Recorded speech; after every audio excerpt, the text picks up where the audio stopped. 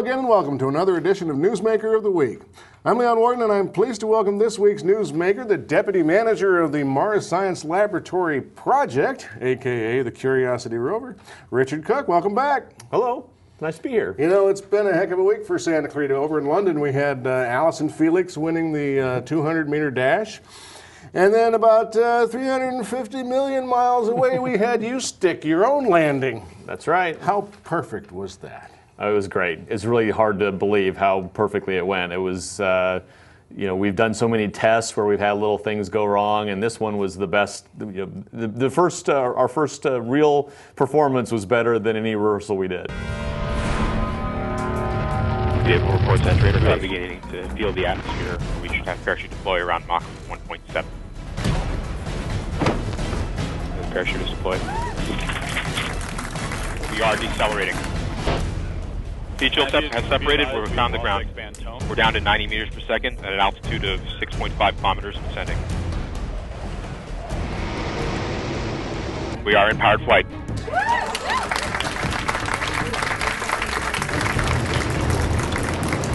We're at an altitude of one kilometer descending. Standing by for sky crane. Signal to us, you remain strong.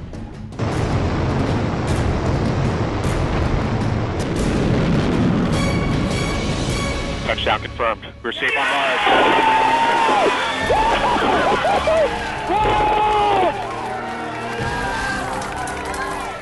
I got to explain. You know, you're the you're the deputy manager, which means that you're one of two people who are responsible for getting that Curiosity rover to Mars.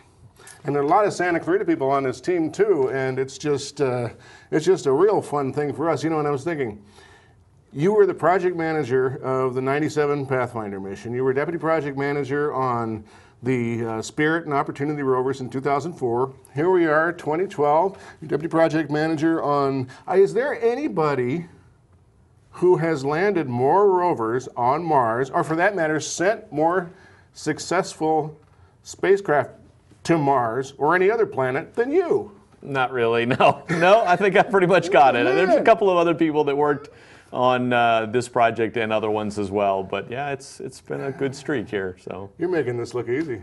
yeah, unfortunately, we did we make it we do make it look easy. It's not nearly as easy as it looks. Do you So- worry that people are going to start taking this stuff for granted? Oh, yeah, Richard Cook again, so yeah, that one's going to work.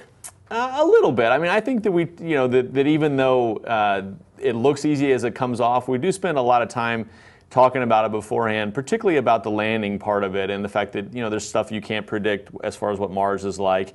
They also look at the engineering of particularly the sky crane, and, and when people see the video, they're like, that, that looks crazy, right? I mean, that doesn't, and the same thing about airbags the last time, right? I mean, there's an element of, of landing on Mars that just looks hard. And so I think that, that even though in the end it works and everybody's happy about it, I think they still believe that it's hard every time. Before, and I do want to get into each of those things, but before we get into that, just tell me, real, you know, the thumbnail sketch. What can this rover do that previous rovers weren't able to do? Well, we've with each one of these missions, we've tried to take a step forward. The first uh, with Pathfinder and the Sojourner rover, it was really just to demonstrate could we drive around on Mars. The second one, we were, we were uh, Spirit and Opportunity, was sort of a robot geologist. It was trying to understand the geology of Mars, and in particular whether or not water, liquid water, was present on Mars in the past. And the answer to that was yes. And so this time, uh, because here on the Earth, wherever we see liquid water, we see life. We wanted to send a, a, although right now we think Mars is too dry and cold to have water, a long time ago it did. And so we think that it could have been possible that, that life developed on Mars in the past. We want to go and look to see whether or not there were the right kinds of environments, habitable environments, things that would have supported life. Mm-hmm. To do that, you have to take essentially, instead of being a geologist, you have to take the geologist and a chemist to Mars. And so in this case, the rover is both of those things. It has the geology equipment, you know, to look at rocks up close and to drill into them, but it also has a chemical laboratory on board that we use to process those samples and to look for things like organic uh, mineral, organic molecules, um, as well as other types of minerals that could have been, you know, could have indicated that life had developed on Mars in the past. You know, uh, this this rover is demonstrably bigger than anything we've sent in the past. Uh, how would you describe its size? I mean, if the if the uh, if Spirit and Opportunity were I don't know maybe a little bit bigger than this table, I suppose. Right. How would you describe the size? This one's a car. It's really you know almost a SUV size. It's you know between a sort of a Mini Cooper and a small SUV is probably the best way to describe it. It's uh, the first one we sent Sojourner was about the size of a microwave oven. Mm-hmm. Spirit and Opportunity about the size of a driving lawnmower, and then now we're car size Okay. uh, with the rover. And it's really because of the science. In order to to take this chemical laboratory, we had to there was a very complicated set of, of instrumentation. We had to have a much bigger rover. We also wanted it to last a lot longer, so we made it bigger so that it could drive further, that it could last longer, that it could um, basically do the, the the mission we wanted to do for for quite a long period of time by making the rover that much bigger, it also meant we needed a whole new landing system. That the airbags, although they worked great in the past, they really can't be scaled up for something this big. They, they really sort of struggled to, to land Spirit and Opportunity. And so something much bigger like this, we had to come up with a new landing system. And so we used sort of what we had done in the past, and then we, we took this big step forward with the Sky Crane system, which, which was kind of the new piece of it. Um, and it was the thing that allows us to land this much bigger vehicle. People could probably picture, you know, sending the wrapping this table here in, in airbags, but but something the size of an SUV. So yeah, you came up and you guys, it, planning on this started about eight years ago or so, right? It Around did. in there? Yeah, it did. That's actually when the project really. It started more like ten years ago, but it kind of got serious about eight years ago mm-hmm. when we really started to go into the you know, full scale effort. And how does that work? I guess scientists come up with what they want to know, and then it's your job as the engineers to figure out how to make it make it so. That's right, yeah. And we kind of go back and forth because, I mean, they, they have questions that they wanted to ask about Mars, and in particular, after Spirit and Opportunity landed, they wanted to ad- and address this habitability question. And so they came to us and they said, well, how, you know, what kind of a vehicle could you build? What kind of instruments could you accommodate? And then we sort of go back and forth and, and try to figure out something that can be done, you know, in the time we have to get it done. Mm-hmm. And, the, and then once we kind of settle on a concept, then we go back to NASA and we say, you know, this is what we want to try to do in, with the, uh, in concert with the scientists, and then they, you know, go through a bunch of reviews and decide it's the right thing to do. And that really that approval to go forward uh, started in, in about 2006, um, and so it's been about six years since we started uh, the full scale development. And so it's decided that you need to have a chemistry lab, and you need to have all these different things, and in order in order to have those things, it has to be X size. That's right. Okay, so now you realize that the airbags aren't going to work. So take it from there. How did we end up with this crazy-looking landing system? Well, it actually is is uh, partly a byproduct of what we've learned in the past. That the, that the airbag system, although it's really um, useful and really capable of landing, uh, you know, um, on rough terrain,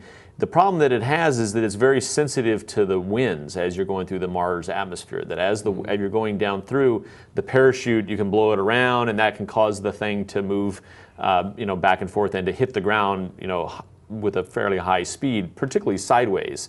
Uh, and so you need the airbags to protect you. And so we were so as part of the uh, process though of building those airbags, we said, well, what we would like to do is to if we could just get the speed lower. Uh, then we wouldn't need to have such capable airbags. And so the way you do that is you build a system that has a much better uh, radar. The, one of the key pieces of the landing system is the radar. You have to have a, a better radar would allow you to measure your speed. It's a Doppler radar, just like a highway patrolman has a speed radar, right? It measures your speed. And by measuring that speed very uh, carefully, you can actually slow the rover down as it's coming down. And you can also make it be able to sense the wind and stop without, you know, and, and handle the winds. The the what we ended up doing is by making a better radar, we realized we could make a radar that was so good that you could control the speed to where you didn't need the airbags at all. And the and basically with the radar and the right kind of propulsion or propulsion system, the right kind of rocket engines, you could actually slow the rover down to where instead of having to encase it in all these airbags, you could actually literally put the rover directly on the surface by mm-hmm. itself. And so that's where the idea came from is to try to sort of build on what we've done in the past, but make it more uh, robust or more tolerant to the things about Mars that we didn't know that we can't, know. And so we we you know, had a bunch of different designs reviews, you know, where we get all these kind of experts from outside to come in and try to shoot holes in the idea. And over time, everybody kind of came to the conclusion that this was the best way to do it. And so with um, the Phoenix and I mean with uh, Spirit and Opportunity, rovers in 2004, they, they did some aero braking, I guess, in the, in, in, the, in the upper atmosphere. Right. And then it came down with a parachute, and the airbags open, and it goes boing, boing, boing on the ground. That's right. Uh, didn't have a powered descent, as I recall. That's correct. And then with the Phoenix lander, which the head of that was uh, over there on the wall behind you somewhere is Barry Goldstein. He's That's over at Stevenson Ranch, and he was in charge of that project, the Phoenix lander in 2008. And that, as I recall, did have a powered descent. Right.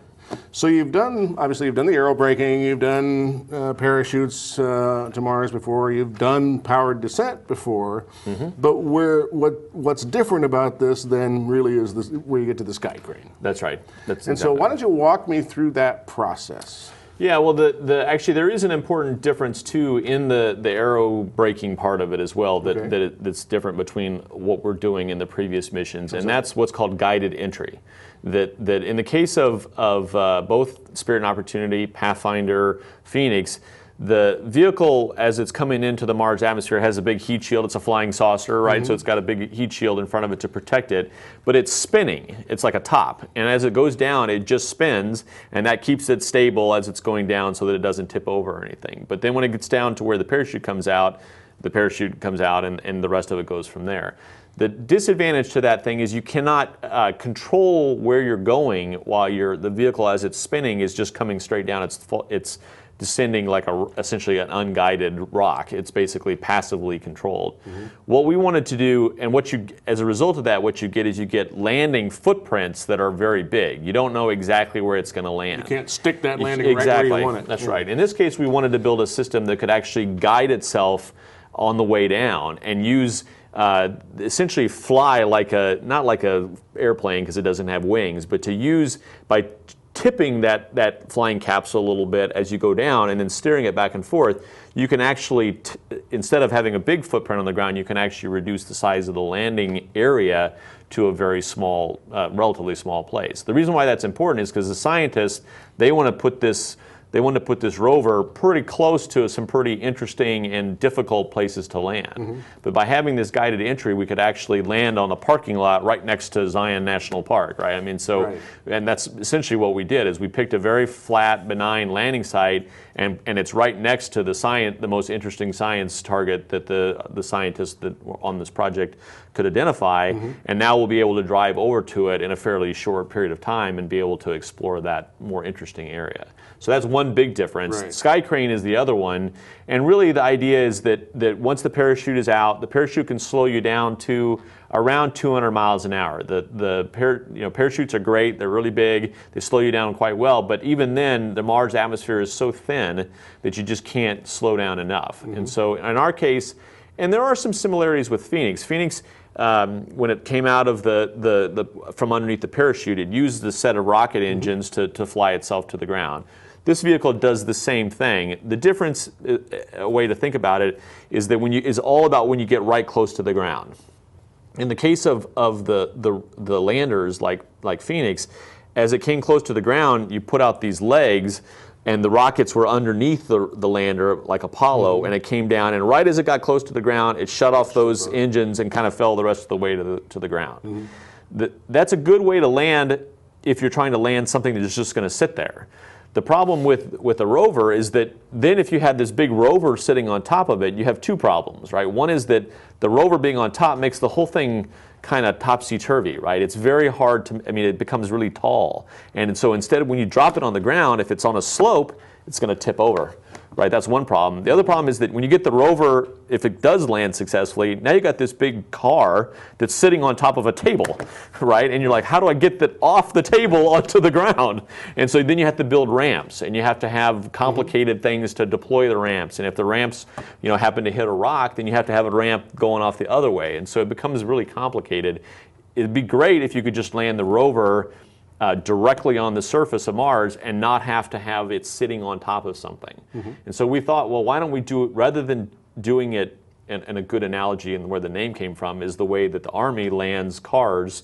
You know, if they're carrying around trucks or whatever, they don't they use helicopters to land sky crane helicopters Mm-hmm. to land you know jeeps and things and they basically hover above it and they lower it to the ground Right. and then it can drive off and do its thing and so that's basically what we did is we took the propulsion the rocket engines and instead of putting them on the bottom Mm-hmm. with the with the rover on top we just turned it over we put the rover on the bottom Mm-hmm. and the propulsion system on the top that only works if you instead of firing the engine straight down you stick them out at an angle. Side, and so that's what we had to do is to make them sort of poke out Mm-hmm. the side. And so that's what the instead of using a sky crane helicopter the sky crane descent stage is the thing with the propulsion system in it. And it basically would carry the whole thing close to the ground and hover above the ground and then slowly lower the rover to the surface cut it loose. So it comes to a point where it's where it's stationary. It's not. It's almost at- stationary. at It's not quite. It's- Relatively stationary that's point, right. and then it lowers. exactly Okay. right And so it, it just seems like there are a whole lot. I mean, you once said that you know there are 10,000 operations that have to go off flawlessly, and it only, it only takes one for the whole thing to fail. it right. just seems like there are a lot more operations in this thing, a lot more places for things to go wrong. Uh, it's the same, to tell you the truth. I mean, with the propulsion system uh, underneath, uh, like in the case of Phoenix, I mean, the, pro- the rocket engines, they have to work. You know, the whole thing has to have a radar to figure out how fast it's going, and it has to stay stable, and it has to have the, and then in that case, it would have to have things that came out so you could drive off. And so it's, in a way, the, f- the functions you have to do, the different elements of it, are almost the same. It's just a question of how you package it. And all those and all those functions have to be pre-programmed. I mean, They you, do. you can't joystick this thing. Yeah, as 14. said. The light, Uh, light time is 14 minutes. as it's as it's coming down and you know making these adjustments, it's using radar and whatever to figure out where it is, and then it's firing this rocket and this rocket to to, to come down, right? Mm-hmm. Okay, so all that stuff it has to know how to do that in advance because you can't. You said 14 minutes. It takes what uh, seven minutes for it to send back to you to know what it is. No, that's just one way. Oh, So one way. signal- One way time is 14 minutes. That's right. Because it's 350 million miles away. Correct. So for, it would take 14 minutes for you to send a, it would take 14 minutes for a command for information from it to get to you, and That's then right. another 14 minutes to go back. to to tell it what to do. So That's that's, right. why we, that's where we come up with this seven minutes of terror that everybody's heard about, meaning that um, Well, the seven minutes. it's coming in and you can't talk to it. You can't right. you can't fix anything once that once once it you can't fix anything. That's right. And so we have a computer on board that has software that's running that takes all this information from the radar and from the it has a gyro uh, accelerometer package it has a bunch of sensors that it uses to figure out its how fast it's going and what its orientation is and what it does is it takes all that information into the computer the software reads it all and then it figures out how to fire the engines the rocket engines to cause the thing to, to move around Right. it also decides when to deploy the parachute and when to do. I mean, it's, it's as you said, it's all on its own, and it's sending us information back. Uh, but we find out, you know, 14 minutes after after it really landed, what happened. And it was interesting during the landing event when the clock got to the point where we were, where here on the ground we said we were seven minutes from going into the Mars atmosphere. Mm-hmm. Then you had seven more minutes after that. By the time we got to that point, somebody said to me, "Oh, hey, it's already happened in reality, yeah. and whatever Whatever happened, whatever has happened." happened has happened." That's right. Watching your body language during that uh, landing event, you look pretty nervous. Yeah. What was making you the most nervous? Uh, it, it, you know, it's it is a combination of two things. One is that I just know, as I said, everything has to. There's just a bunch of things in a row that have to go right. And there's nothing you can do and about there's nothing you can do about it. The, the actually this time it was interesting. The waiting was the part that was kind of driving me a little crazy. Right, I, I was, you know, in the because people had asked me beforehand in the days leading up to it, are you nervous, you know, or whatever. And I don't usually get that nervous because I know that that we've done as much as we can, the testing we've done. I mean, there's an element of it that you're never gonna. The, the risk is what it is, right? You're trying to land something on Mars, and but whatever will happen. And it hasn't been done more times than it has been done successfully. I mean, yeah. you know, the, the, the failures, counting all the other countries that That's have right. tried to do it. I mean, right. the United States is the only one. You're one of. You're basically you're it. You're the guy. yeah, that's right. None of the other countries can Right. has figured out struggled. has found Yeah. your price yet. Yeah. But but uh, there are more failures than there have been successes. Right. And um, but in this in this seven minutes, I was thinking back to Spirit and Opportunity. Those seven minutes of terror. You basically didn't know anything as it was coming down. Well, we got radio And- signals then too. So, but it's the same problem. We couldn't. Okay, but but but follow me with. Let me Okay. indulge me on this. Sure. With Phoenix, there was some more data coming down as Phoenix was coming down, and then on this one, it seemed like you knew a lot. And Yeah. I guess that's because of the Mars Reconnaissance Orbiter. It's actually because of the Odyssey, uh, Odyssey? spacecraft. Oh, Yeah, we actually have two spacecraft in orbit around Mars uh, that are uh, relay. That's right, it was the that, Odyssey that that was- can do communications relays. They're like communications. So you had a lot satellites. more information We coming did. at you this time than what was. uh, Okay, so explain to me that difference. Um, well, because we've had these uh, in the past, we've had some problems with missions, and we didn't have information about what happened to them. No, we're not going to go. We won't talk about that. We wanted to make sure that every time we land something on, on Mars now, that we have communications and data basically telling us what happened, so that if in case it fails, to be honest, we'll be able, we'll be able to know what maybe why. That's right, exactly. And so, and it's actually one of the more amazing parts of it. We have these two spacecraft that are in orbit around Mars, and they're doing their own thing and just kind of, I mean, they've been there. In the case of Odyssey's been there for 12 years, 11 years. Mm-hmm. In the case of MRO, it's been about six years and uh, they're doing science measurements and they have these radios that we put on them which they actually use to support opportunity they actually use it uh, and we continue to use it now after landing but they're basically this can both be communications orbiters as well as do their own science investigations and they're just in orbit around mars and and I mean, I know how it works, which is we have to adjust where they're going and everything so that they fly over at exactly the right time. But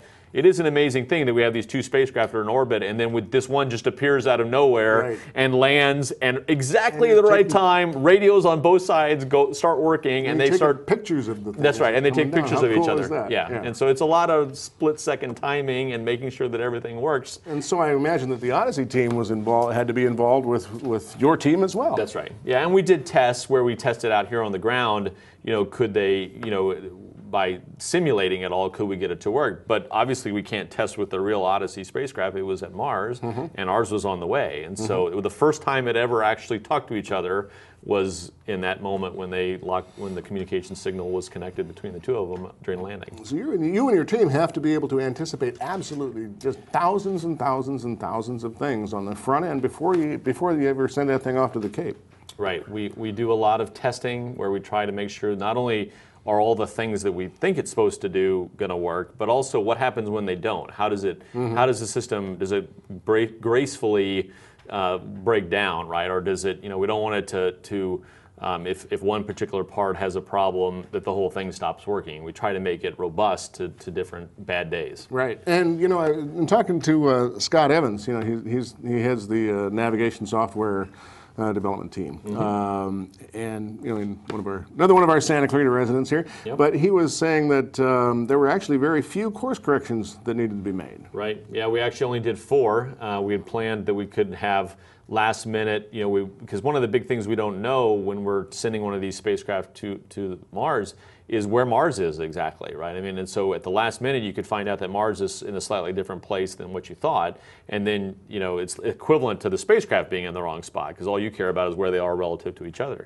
And so we had to have the ability at the last minute to do a last minute correction of the of the course didn't have to do it. It was basically all the way in from the, la- the last maneuver we did was about eight days out, uh, where we had to adjust the, the, the entry point a little bit.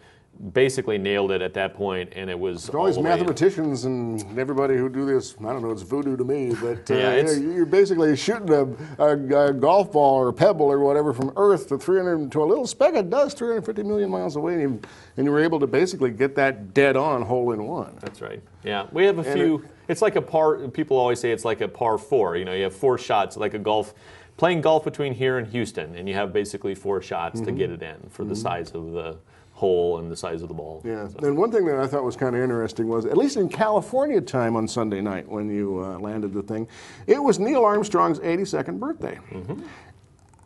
Where do you see yourself and your team fitting into the, you know, when, when your own kids look back on this, uh, 20, 30, 40 years from now, um, where do you see yourself and your team fitting into, you know, the history of space exploration?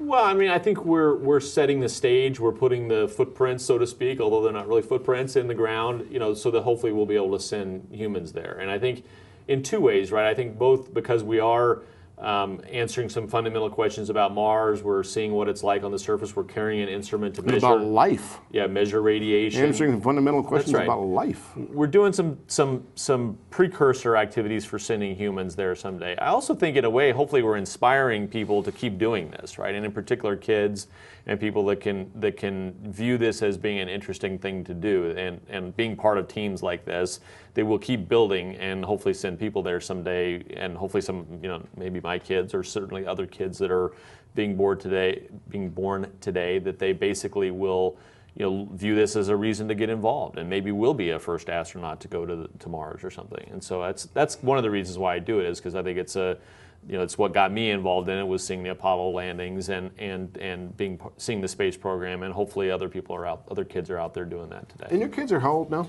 My oldest is 16, my youngest is 11. And where did they go to school? Uh, my they actually go to Canyon. Two of them go to Canyon High School, and one goes to Sierra Vista Junior High. So they're old enough to understand what you're doing. How how how, how do they see it? How do you think? How do you think they see it? I mean, are they are they proud of dad when they go to school and say, "Hey, guess what my dad did?" Or are they you know, like normal teenagers and oh yeah, dad's doing I don't know what he does. Both. You know? They're, they're both, both of those things. So, I mean, you know, certainly when it comes to giving tours of JPL, I mean, they've been to JPL so many times now that they're like, oh yeah, I don't want to go back. I've seen Do everything. they even know? Do they do they know how important it Yeah, is? well, but it, the, when the landing occurred, they all went down to Caltech and watched it down on on uh, on at, the, at Caltech to, with a whole bunch of other friends and family, and they were pretty impressed. I think they thought it was pretty cool because I mean, it is. It's pretty you know a neat thing to see and to be part of the whole because it's hundreds, thousands of people have worked on this project. To be part of something that's that big and to kind of see how it all come together in a sort of a dramatic way, I think is, is really was entertaining for them, and they had a great time. The question that I like to ask in this kind of thing, we got to wrap it up, um, is what does it take to be you? And what I mean is, there was a kid who asked a question at that midnight press conference. I don't know why she was up that late, but at that midnight press conference, who asked what it was that got you uh, involved, Yeah. that brought you to NASA. I think is Right. what she asked. You know, was it things like Neil Armstrong and that sort of thing? And I liked your answer. Let's finish on that. Tell us more or less what you said. Well, I said it was the problem solving part of it that, that I, you know, and, and I think that being funny that the rover would be named Curiosity, you know, being curious in school and really kind of interested in learning and wanting to solve hard problems. One thing I learned is that no matter what kind of problems you solve, there's always harder ones out there if you go find them, right? And, and if you're a person who's interested in solving problems and is curious about the world, that will lead you down a path. It may not lead you to NASA, it may not lead you to, to, to what I do, but it certainly will lead you to doing something important and something interesting. Because the interesting things are the things we don't know about. And, and I think that, that, or at least in my opinion, and I think that in this case, you know, if you go and you learn how to learn and you learn to go ask hard questions and to try to solve them, it will lead you into to places like NASA where that's what we do, right? I mean, we solve hard problems and we put together big teams of people who work together to solve even harder problems than any person can do by themselves. And so that's, I think NASA is a great place for doing that kind of thing. And I think if you go to school and you, you try to, to move in that direction, you could end up at a place like NASA. Richard Cook, sticking the landing on Mars every eight years. I'll be fascinated to see what you do eight years from now. Yeah, but we'll see. Thank you for joining us, and thank you for joining us. Missed any portion of this program, you can see it again and again on scvtv.com. Check back here, Time Warner Cable Channel 20, AT&T Uverse 99, Sunday 8.30 a.m., Thursday 9 p.m. for another Newsmaker of the Week.